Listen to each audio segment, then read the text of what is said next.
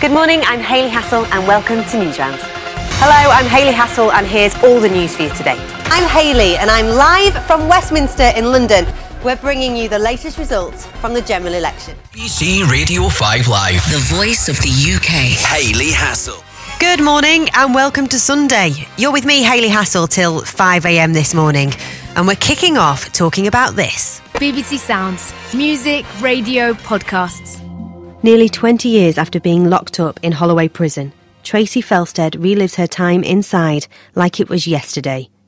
She tells me harrowing stories of her incarceration and how the experience has left an indelible mark on her life. They had it set in their mind that this money had gone and I had taken the money and that was it.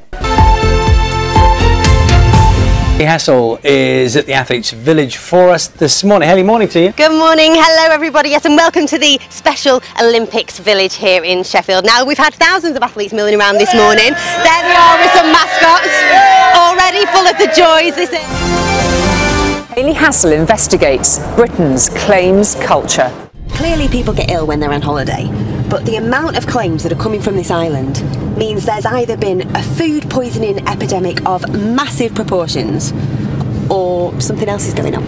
social media companies hmm. are doing to protect children online from grooming or incidents like this. Yeah, and do they have a responsibility? Hmm. I suppose the internet is a massive place where anyone has freedom to post anything they like, but YouTube have said that there are no reports of these pop-ups actually happening. But if you see one, you can report it, and they do have a duty if they see anything harmful to remove it.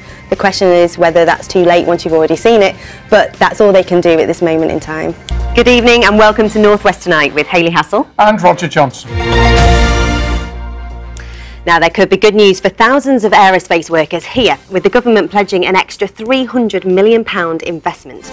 It's that magical time of year. It's Christmas. Up and down the UK, in towns and cities, families are gearing up for that big special day. They're buying presents, eating and drinking, and generally making merry. Welcome to Christmas City. I'm on the road with Trading Standards Officer Carl Jones. We're on the way to a shop that could be selling counterfeit alcohol. The reality is that when someone makes a personal injury claim, they are starting a legal process, which, if contested, can prove their undoing. I've come to see President Donald Trump's new border wall and find out what it's really like to live with this border. How dangerous is this area for migrants? Are they putting them, their lives at risk? Have the all-inclusives had much impact on businesses around here? Yeah, a huge effect. I used to have my own restaurant before running this place, and I lost it about 2010, but partly because of the all-inclusive.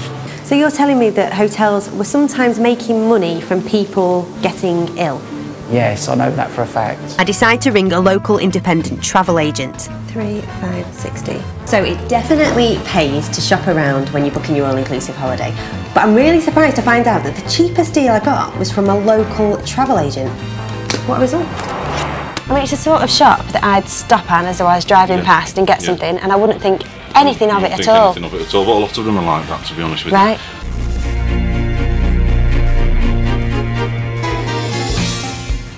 2007, I worked undercover in hospitals to investigate the state of maternity care in Britain. I found services stretched to the limit, with a shortage of midwives and equipment. Too much workload with high risk women. Too many patients, not enough support staff. Crying out there. Sorry? She's crying. Who's crying? The woman who's waiting for the bed. I'm sorry, very nice. It was Hayley who was first to get work. Should I have had some like training in that or something?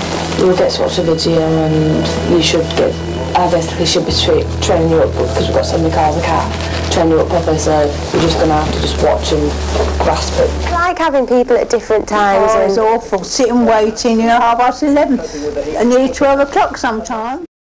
I still get hungry sometimes because my mum can't afford to buy like proper food and like, sometimes you could wake up in the night because you're so hungry. If you've been hungry once, there's no doubt that it would obviously happen again. Does that worry you? Does it worry you that you don't know when you're next going to eat? Or that you don't it know worries, yeah, because like again? you don't know if you haven't eaten in a while, feels like a pain shooting through your belly. So because they're hungry, they're actually turning to crime? Well, some of them do, but it's not. They're not uh, stealing sweets and chocolate and chewing gum. They're actually going out and stealing bread and food for themselves and the family. you've been a great help. You've, you've, you've saved me from myself uh, with your discussions tonight or this morning. That's amazing to hear, Mike, and thank you so much for calling. It's been so lovely to hear from you. BBC Radio 5 Live. The voice of the UK. Hayley Hassall.